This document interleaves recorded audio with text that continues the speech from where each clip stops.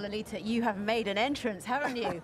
You've stalked the green carpet. I mean, the tiger is here from Life of Pi. We don't like to come quietly. exactly. Well, it's a big night for you guys. Nine nominations, Yeah. including Best Act and Best New Play. And it, this is a big deal for this and for everybody here involved, isn't it? It is. It's been a huge amount of work. I mean, this is just some of the team who are nominated, and it's been a huge amount of work to get this show on. What's it been like taking this beloved property and really transferring it to the stage in such a beautiful way, I mean? How long have you got?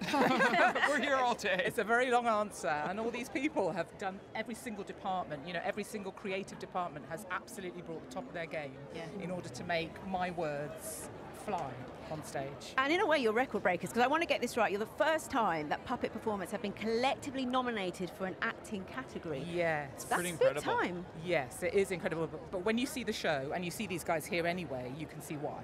Yeah. Uh, I mean, they are they are absolutely collectively giving you three people in one performance of one puppet. It's an extraordinary thing to watch, actually. I was there the other night, and it's not just a tiger. I mean, you bring a whole zoo to life on Yeah. that stage. Yeah. What was that like in the rehearsal room? Kind of working with the puppeteers to make these incredible pieces of art come to life. Well, let me pass that question to Max about what it was like working with the, the puppeteers and bringing things to life.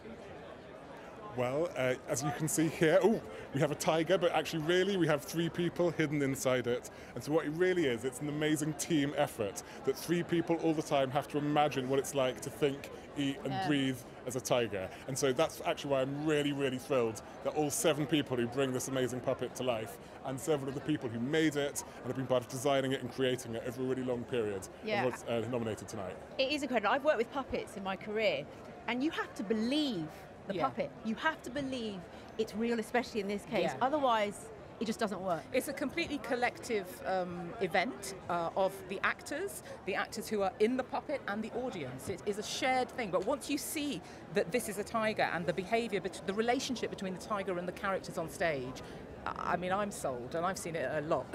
L- Lolita, congratulations. Congratulations to all of you. I know that you guys and the tiger has to get in there, and the tiger is performing tonight, so Yes. we have to get him his rest before the show. Thank, you you. so Thank much, you. guys. Good luck. Congratulations and Do you have fun anything to say, Richard Parker?